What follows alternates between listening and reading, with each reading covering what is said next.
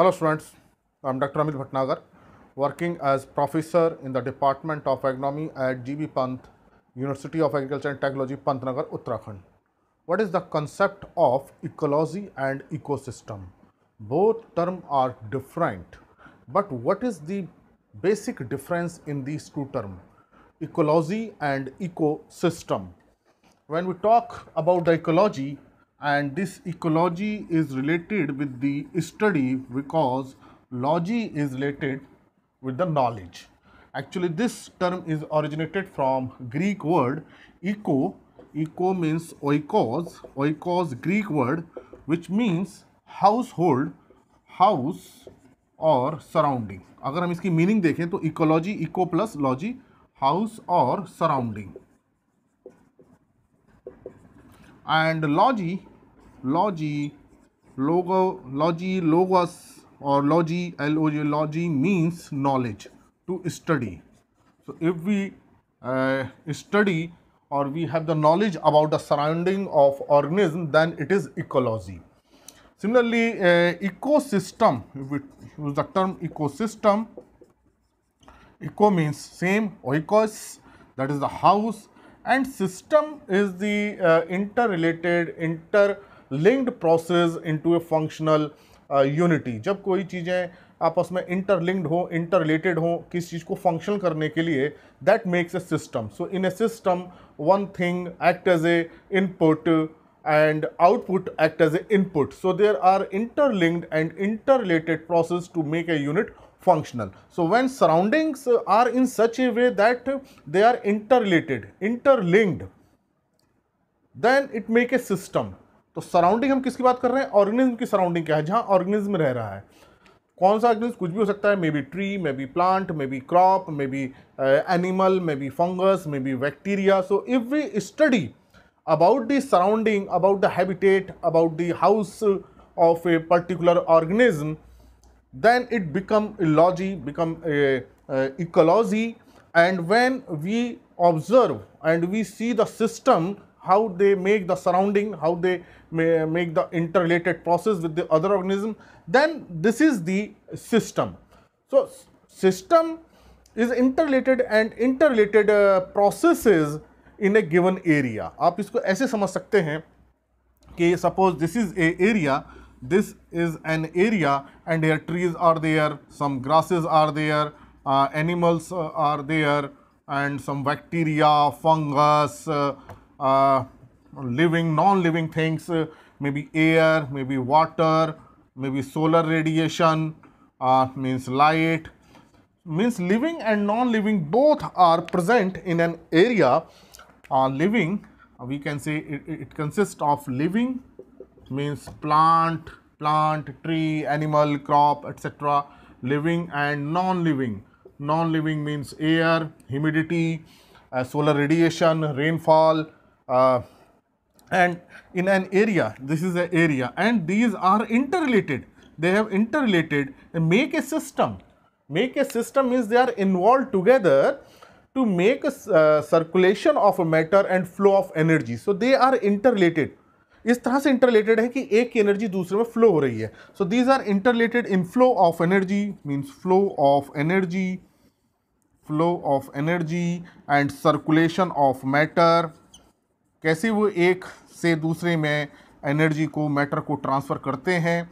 And then it make a system then it is called as a ecosystem so in ecosystem living and non living things living means tree है plants हैं, जो है, आपस में and with the non living thing soil के साथ air के साथ वाटर के साथ, यहाँ जो सॉइल भी है it is soil soil non living कैसे वो इंट्रैक्ट करते हैं? How they are inter related कैसे एक ग्रास स्पीसीज ट्री से रिलेटेड है?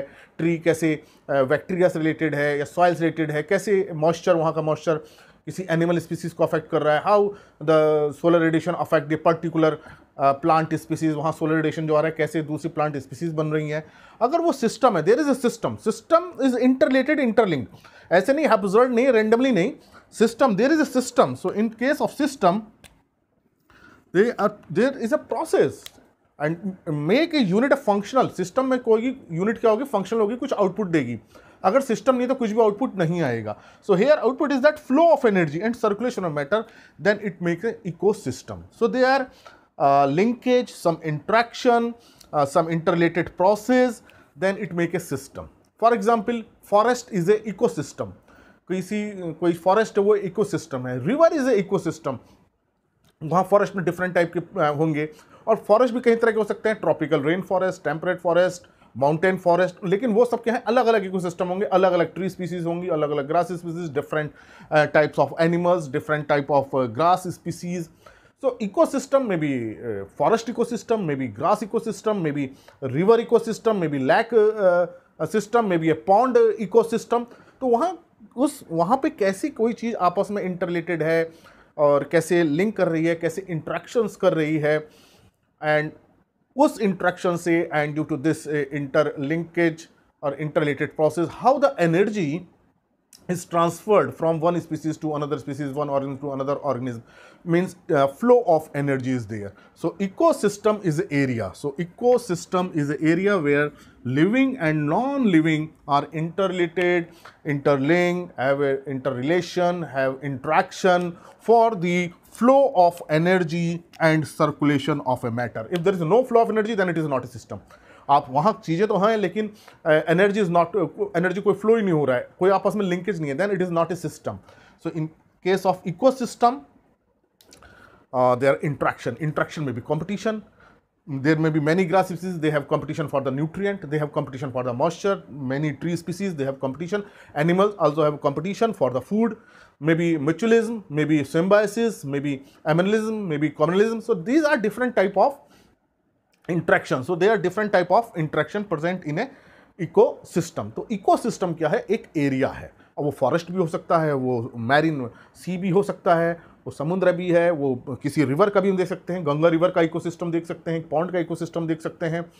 किसी झील का इकोसिस्टम देख सकते हैं, किसी ग्रासलैंड का इकोसिस्टम देख सकते हैं कि वहाँ कौन कौन सी स्पीसीज हो रही हैं कौन कौन से एनिमल्स हैं कौन कौन सा बायोटा है, कौन सॉइल कैसी है how minerals are present how much water is present humidity कितनी है सोलर रेडिएशन कितना आता है ईयर में कितना सोलर रेडिएशन आता है पर्टिकुलर मंथ में कितना सोलर रेडिएशन आता है and according to solar radiation how the photosynthesis take place and according to photosynthesis how many grass species are there कौन कौन सी स्पीसीज हो रही हैं मंथ ईयर में कौन कौन सी ग्रास स्पीसीज हो रही हैं, कुछ एनुअल हैं some are perennial some are biennial trees कौन कौन सी ट्री स्पीसीज हो रही हैं ट्रॉपिकल रेन फॉरेस्ट का इकोसिस्टम अलग होगा टेम्परेट इकोसिस्टम से mountain forest ecosystem is entirely different from other ecosystem desert is also another ecosystem desert में different plant species are there as compared to other ecosystem so this is ecosystem so ecosystem is an area we are living and non living interact, interrelated, interlinked for the uh, for the flow of energy and the circulation of matter. So there is a photosynthesis, grasses are, there, then trees are there, and these grasses uh, are the producer. So in, in, ecosystem, there is a producer. Producer means plants are there. Number one. Then another uh, type of organism which consume this uh, uh, photosynthesis means eat the grasses and the tree and they are called consumer. So, animals come under the uh, consumers. Consumers may be three type, maybe herbivores, maybe carnivores, maybe omnivores. अब जो घास खा रहे हैं they are eating only grass there are herbivores which are eating only flesh और meat are carnivores and some are which eat both grasses and flesh meat they are called omnivores and third one are decomposer which decompose the this producer and uh, consumer means they decompose the plant and animal and decomposer are bacteria, fungus, termite, these are decomposers. So in ecosystem, there is an inflow, there is a flow of energy, circulation of matter, there are different trophic level, they are producer, they are consumer, they are decomposer and they are interrelated. ऐसा नहीं है कि केवल producer होगा तो consumer नहीं होगा and producer and consumers are inter so that's why they make a food wave they make a food chain so in ecosystem there is a linkage there are interaction, there are interrelated process so that there is a flow of energy तो इसी तरह से river में भी एक ecosystem होगा जहाँ कुछ एल्गी होंगी there are algae there are fish they are related algae is a food for the fish then large fish which eat on the small fish So this is the ecosystem and in case of ecology, so ecology is the knowledge or it is the study study uh, of these interaction these interrelated process and study of mutual relation कैसे एक organism दूसरे organism से related है mutual relation mutual relation of organism organism with uh, environment how the uh, organism means animal trees uh, grasses uh, interact with each other and with the environment, physical environment, maybe how they interact with the soil, how they interact with the water available, how they interact with the solar radiation. So, what is present that is studied under this ecology. तो जो यहाँ present है what is present that is studied under ecology तो ecosystem में जो interrelated process हैं जो linkage है जो interaction है parasitism competition uh, mutualism, symbiosis, communalism, amylism, these are all are studied. How one species is interrelated, uh, how one species affect the other species. That is the ecology. So ecosystem tells what is present. So ecosystem uh, tells what is present and ecology says how they are present and why they are present. So this study is the scientific study of the uh, linkage, scientific study of interaction कैसे interact कर रहा है? How competition दो plant species कैसे competition हो रहा है? That is studied under ecology and क्या इंट्रैक्शन है? That is under eco system एक इको सिस्टम के अंदर कॉम्पिटिशन ज़्यादा हो सकता है या म्यूचुअलिज्म ज़्यादा हो सकता है या may be parasitism maybe more तो what is present that is in eco system and how they are present, why they are present, they are studied under ecology. So, ecology is the study of mutual relation of organism and with the environment आपस में भी organism कैसे interact कर रहे हैं? एक grass species दूसरी grass species कैसे इंट्रैक्ट कर रही है? एनिमल कैसे ग्रासेस से इंट्रैक्ट कर रहे हैं?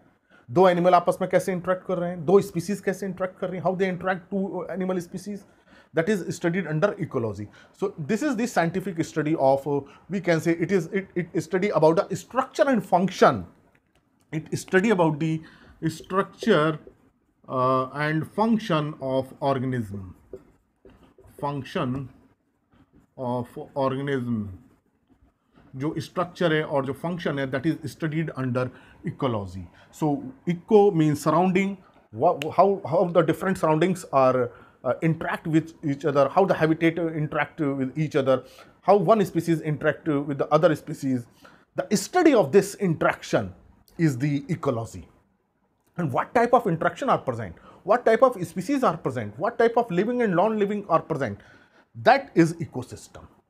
So ecosystem, one ecosystem is entirely different from other ecosystem तो आपको समझ में आ गया इकोलॉजी क्या? Ecology is study of the relation of organism with the environment अगर हम एक ऑर्गेनिज्म की स्टडी करते हैं केवल study only one organism then it is auto ecology then it is known as auto ecology auto ecology we are studying only one plant species और only one tree अगर हम केवल एक प्लांट स्पीसीज की ही study कर रहे हैं, एक ही ग्रास की स्टडी कर रहे हैं with relation to environment how it it is affected by the environment how it is affected one grass species is affected by solar radiation precipitation humidity soil available minerals etcetera in ecosystem that it is auto ecology and if we are study about the group of species, many group of species, then it is known as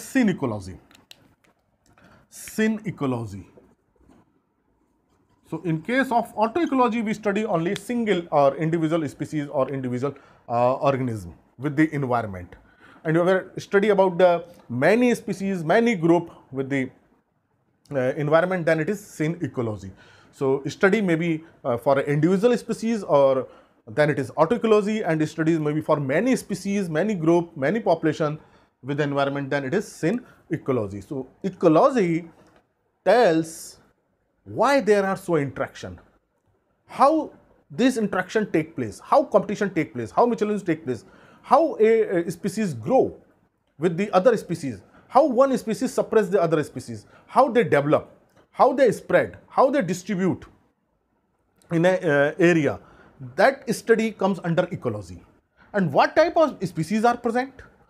What type of non-living things are present, what is the quantity, how they interact, how they are interrelated, that is ecosystem. So, this is the difference uh, between ecosystem and ecology. So, this is the concept. So, ecology is the study about the interaction, about the uh, relation of uh, organism with each other and with the environment.